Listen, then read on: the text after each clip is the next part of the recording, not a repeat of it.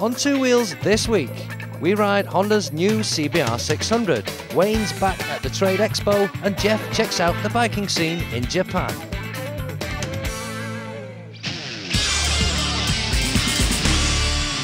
You'll remember last week I rode Yamaha's new R6 and I managed to use the word awesome about five or six times or something.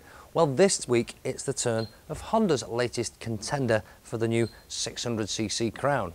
It's their brand new CBR. Unlike the Yamaha R6, the Honda comes with a proven track record. Since its launch back in 1987, it's consistently outsold and outperformed the rest. So how do you improve on something that's been arguably the best in its class for over 10 years? Well, what you do is not just another update, but a complete redesign. After three days of atrocious weather and close on 400 miles on the R6, it was a pleasant relief to climb onto the CBR, although it was still raining. Perhaps the fact that it's been around for so long made it feel very familiar. But hang on, this is a totally new bike.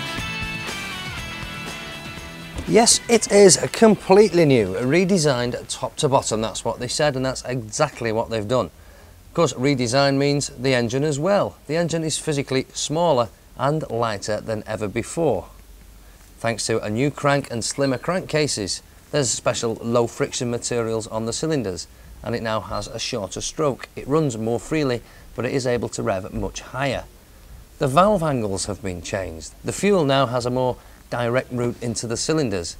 And the cylinder head, that's not been forgotten, that's completely new. And again, smaller and lighter than before. In fact, the whole engine is a full three kilos lighter than last year's model. But does it work any better?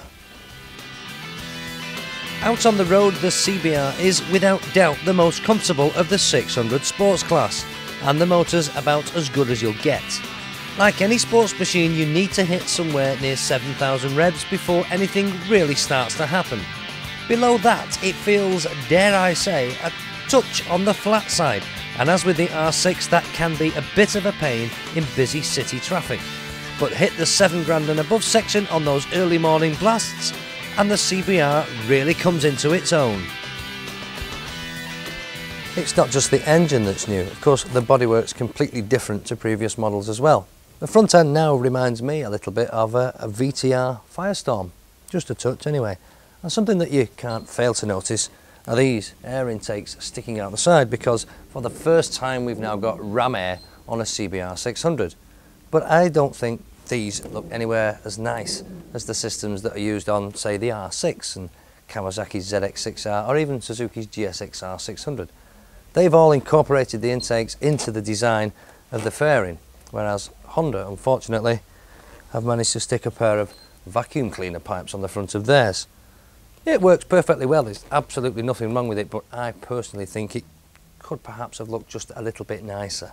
The rest of the bodywork though is no problem. Big, new shaped tank, new shaped side panels, and a slightly taller screen than before, so a little bit more protection from the wind blast. And of course, the whole thing has the usual top quality finish, which we've come to expect from a Honda. The handling on previous CBRs has never been in question, so it's no surprise that this latest version feels even sharper. The steering is very light and easy, but still manages to provide enough feedback to let you know exactly what's going on. Never once did the bike feel vague or remote in any way, even when squirted fairly hard along bumpy roads. The standard suspension setup is a touch softer than the R6, which improves comfort for everyday riding. It can, however, be easily adjusted and stiffened up if you fancy blasting around on a track day. It's even easier to adjust the suspension now on the new bike. Compression damping is done from this remote canister here mounted on the subframe. Dead easy to get at, no problem there, it is right in front of you. And the shock itself is in a slightly different position for a couple of reasons. Firstly, it's now easier to get at if you want to fiddle with it, but more importantly, it's now got a better working angle on the bike. I suppose we'd better mention the brakes, although there isn't really a great deal to talk about. A pair of 296mm discs up front, being gripped by a pair of four-pot calipers, and a single disc and single pot caliper at the rear. Nothing fancy, but superb, do the job perfectly well. You're not going to get dodgy brakes on a bike of this class. And class is a word that you'll hear used quite a lot when people talk about this machine. It's got loads of it. It's comfortable, easy to ride, powerful, practical, and it doesn't look half bad either. That all sounds pretty impressive, but one word I haven't used this time is awesome. That's not to say this bike hasn't got what it takes. It definitely has. I think because it's been around for so long, we've almost come to expect it, and when it does everything so faultlessly, it really comes as no surprise. So how does it compare to the R6? Well, first of all, let's talk about the looks. Now, I personally prefer the look of last year's CBR 600. I haven't exactly fallen in love with this new shape yet. Perhaps it'll grow on me, I don't know. The R6, on the other hand, I think looks the business. I think it looks like every sports bike should look. And here's a nice touch. Let me show you this. I like this.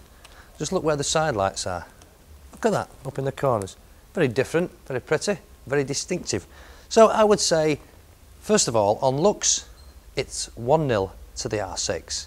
So what about comfort? Well, you've only got to look at the two bikes to see instantly which one is going to be the most comfy. Of course, it's the Honda, the CBR. One piece dual seat, miles, miles more comfy than this little pad on the R6. It now extends further downwards there at the back of the tank, give you a bit more support. It's dead comfy. The riding position is far superior in the comfort stakes to the R6. It's more upright. Bars are higher, a little bit wider, and you don't get pushed forward into the tank like you do on this. You hit the brakes at any kind of speed on this, and you need some serious padding down the front of your leathers. It's rather painful. So 10 out of 10 to comfort on the CBR 600. I make that about level up to now. So what about the engines? Ugh, squeezing between these two bikes. Both brand new motors, both super lightweight and full of loads of tricky bits and fancy technology. Both excellent. I have to say though that the R6 felt a little bit more buzzy when you started to wind it up than the CBR 600, but really nothing to complain about. The R6 redlines at an incredible 15,500, CBR 600 13,500, but you can have loads of fun below that. They both need to be spinning at over 7,000 before anything starts to get really exciting. And they're both a bit of a pain around town. When you get about 4,000 revs, they're a little bit flat and fluffy and uh, can be a bit of a nuisance, but really it's not a problem. Both superb, so up to now, we're still level. So nothing to choose between them yet. Let's talk about what you might call features. And a big improvement on this model of CBR is you can stick your key, the little hole there, quick turn, and the seat now comes off complete as one unit, dead easy. No side panels to undo or nothing. And you've got a bit of storage space there. You'd get a U-lock under it, maybe some waterproofs and a pair of gloves and probably some rather flat sandwiches. But uh, a big improvement on previous models. On the R6, another turn of the key and a little pillion pad pops off there. And you've got a rather small compartment there. Of course, there's a toolkit there, but you wouldn't get very much there. So I would say at the back end, seating arrangements and seating compartments, the Honda's probably got the edge. Now then, let's come and have a look up at the front end. This dashboard layout on the R6 might look very basic, uh, it might not look like you're getting a lot for your money, but this digital speedo and white-faced rev counter is just so functional, it's so easy to read. A quick glance down, you can see exactly where the revs are. You can even read the speed accurately when you're travelling at speed. So 10 out of 10 for that, which is more than I can say for the Honda. The problem with this dashboard is, whilst it's very nicely laid out and looks rather classy, it's actually very difficult to use. It's very difficult to read. The numbers are very, very small. The clocks have got black faces. White face clocks would have been so much easier to see. The trouble is when you're moving quite fast and you look down, your eyes have to refocus on the very small digits and that takes a few seconds to get an accurate reading. You can't just glance like you can on the R6, by which time you've travelled quite a distance. Not very good, I'm sorry to say. So up the front end dashboard, 10 out of 10 to the R6, but under seat compartment storage, well, the Honda's won that one. So we're still level. So just one thing left to compare then, and that's possibly the most important thing, the price.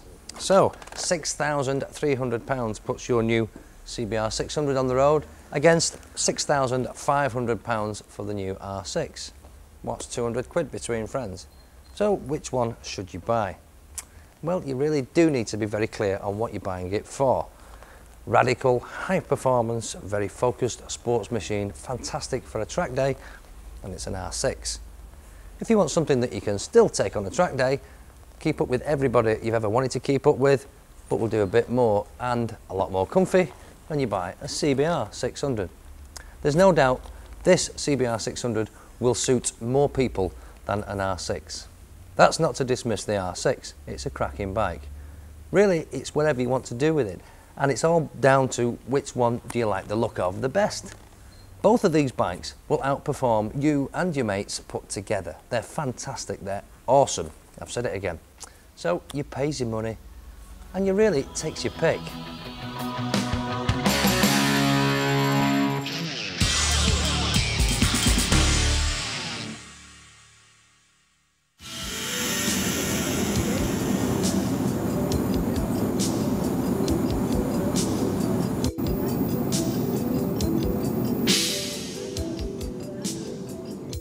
Japan.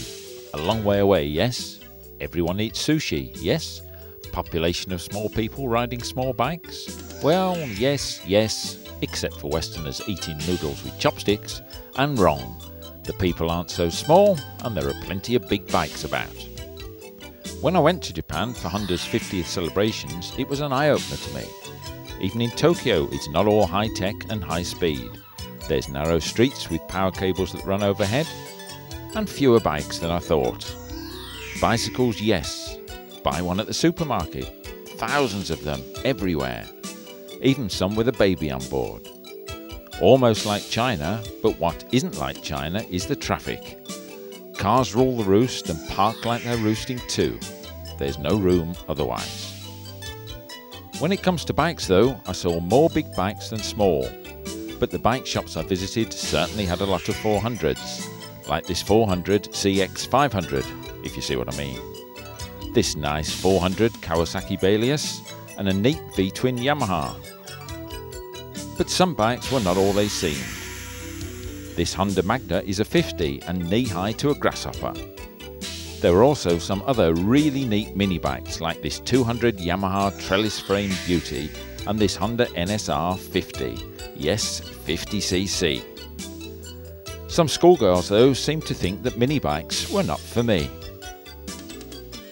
Alright, how about a Julio, or Julio in Spanish, scooter? No? Well, what about this immaculate refurbished 84 750 Katana at 399,000 yen? That's roughly £2,000. Plenty to choose from, whatever your taste, as these two found out on a ZZR 1100. Who's been polishing his helmet then?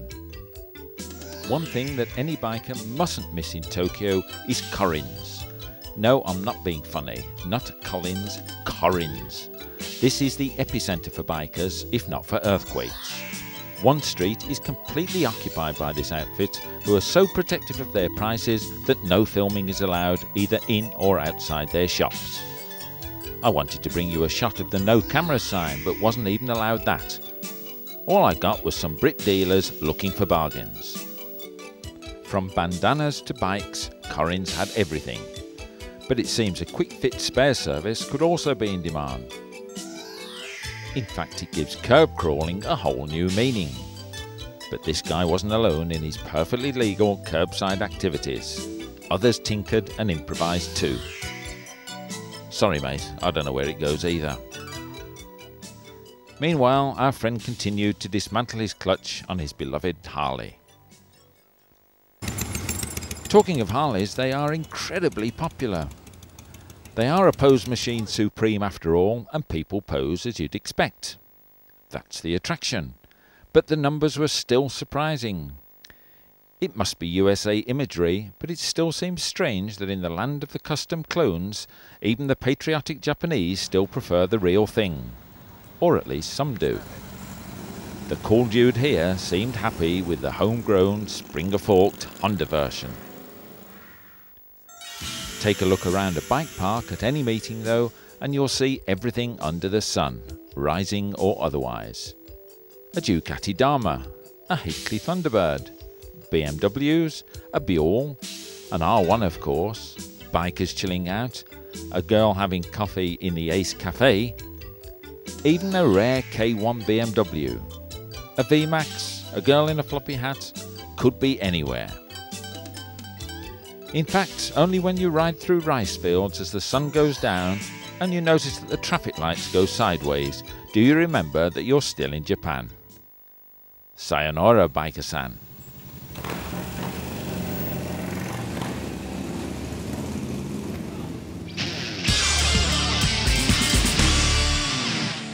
Yeah, well, I know what you mean. Yeah, it is a problem. People who are big and that lot do have a bit of trouble getting kit and that for leather suits. But Dynamic Leathers here have got the job sussed, you know. You know how? Because they do a size 50 inch one piece racing style suit. 300 quidish. Now, it's pretty impressive that, isn't it? I think that's impressive, size 50. You don't think that's impressive? All right then. If you don't think that's impressive, just check out the size of this then. This glove, I, I don't put a size to this extra, extra, extra, extra, extra large glove, and you won't get that for 29.95. Real leather. I really can't imagine what the jacket looks like that belongs to the fella who owns that hand. So you lads out there, when you go in the shops and you buy your nylon gear and everything, and you pick it up and you think, there's no way that this will protect me. I'm not wearing nylon. I'm not wearing textiles. I trust my leather. Think again. Because this company, Bulson, Swiss, tough stuff. It's built like tanks. Very, very strong. Loads of armour in it. Pretty bright, if you want the colours, reflective and everything. It's damn tough stuff. And I imagine if you hit the deck with that on, I would think it'll probably save your butt. Well, okay, I'll talk to you later on. Okay, nice to meet you though. All the best to you. Yep, see you later. New brand, new name actually, but a, a, sort of an established manufacturer at Barnard Castle here in the UK, which is a rarity for waterproof clothing, I must admit. Although there are many brands on the market with various different names that imply their origins are wherever, Germany, Holland, Sweden, or wherever, a lot of them are made in the Far East. Nothing wrong with that, but a lot of people out there happen to like the idea of a UK manufactured product. Fair dinkum. Well, if you want one, it is one. Bikewear's the brand. This particular jacket's called the T5. Very much like a lot of other stuff that's available, with a few nice little ideas.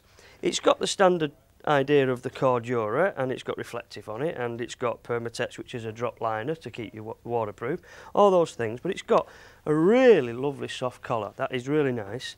It's got an adjuster on the back of the collar here so you can tighten that up real nice and tight so it's snug and you don't get a draft down the back of your neck.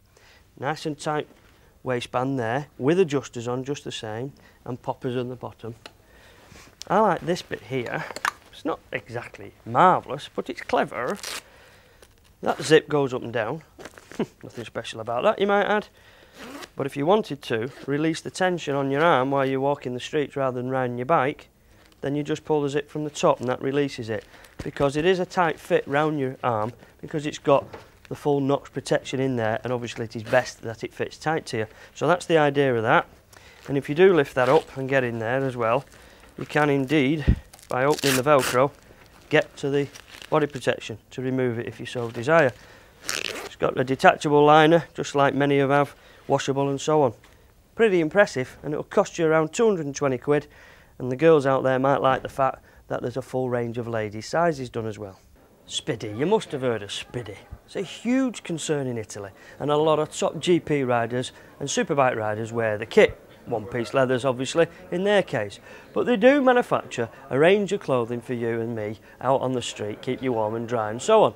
And because the origin is Italian the tendency is then to apply a little bit of the old venting through the jacket so in the summer it keeps you cool.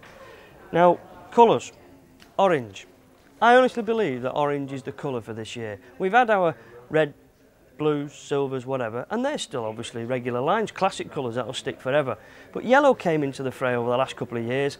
Bright, no harm in being bright and seen, granted, but I think maybe the orange. And of course, new Firestorm's done in this orange, and many more. Nice bit of kit. Orange. Would you see be seen wearing that? Well, why not? Because you would be seen. It's bright and it's vivid.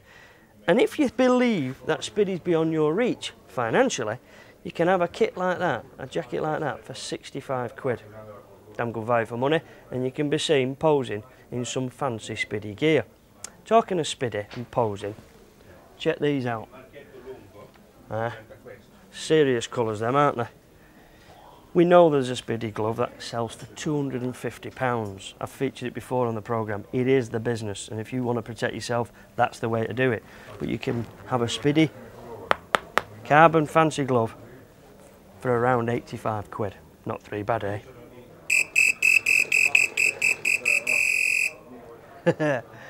well, they don't like me doing road testing, even little ones like this. But yes, would you believe it?